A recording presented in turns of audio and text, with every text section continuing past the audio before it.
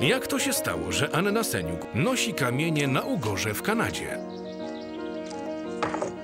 W 1978 przyjęła rolę w dramacie psychologicznym Bilet powrotny.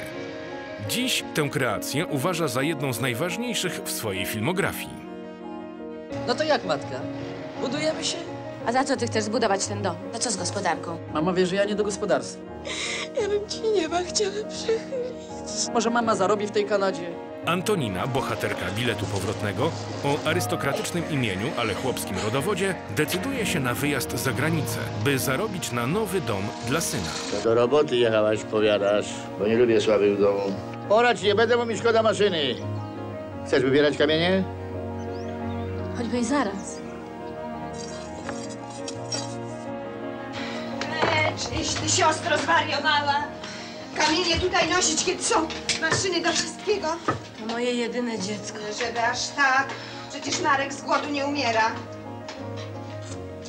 Co ty tam wiesz? Pewno, co ja wiem. Dzieci nigdy nie miałam, mieć nie będę. Kto tam ze mną gadał? A ja mam jedno i to jest jeszcze gorzej.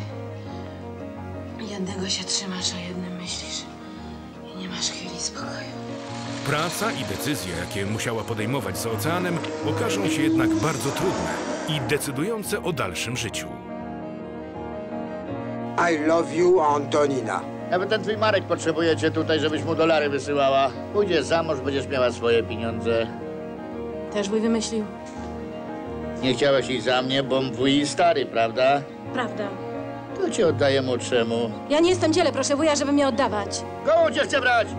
Gdzie ty znajdziesz takiego drugiego wariata? Nie taki on wariat, wie, że będzie miał za darmo parobka. Bilet powrotny w reżyserii Ewy i Czesława Petelskich, według opowiadania i scenariusza wybitnego pisarza i scenarzysty Jerzego Stefana Stawińskiego, autora scenariuszy do takich filmów jak Kanał, Eroika, Zezowate Szczęście czy Krzyżacy, otrzymał nagrodę główną na Festiwalu Filmów Fabularnych w Gdańsku w 1978 roku. Wracajmy do kraju. Do Polski nie masz po co wracać. I marnuje się bez chłopa. Wydasz się za niego, da Bóg szybko umrze. Coś ty najlepszego zrobiłem.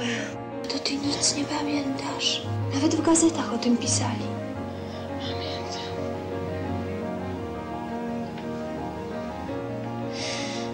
Wszystko było. Bilet powrotny z wybitną rolą Anny Seniuk już w grudniu w telewizji Kino Polska.